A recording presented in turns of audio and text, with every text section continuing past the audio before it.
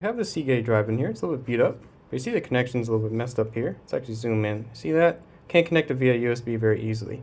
But fortunately, since this is actually Seagate drive, look what actually happens. We can remove this casing. We take the drive out. And it has this connection port actually connected to another port, right? Then go ahead and remove that. And you see, that's a regular SATA connection. And you see, this is a USB to SATA connection. So we can connect it to a sled like this one, like a USB sled. And we see our two terabyte drive there, and that's how you get the data.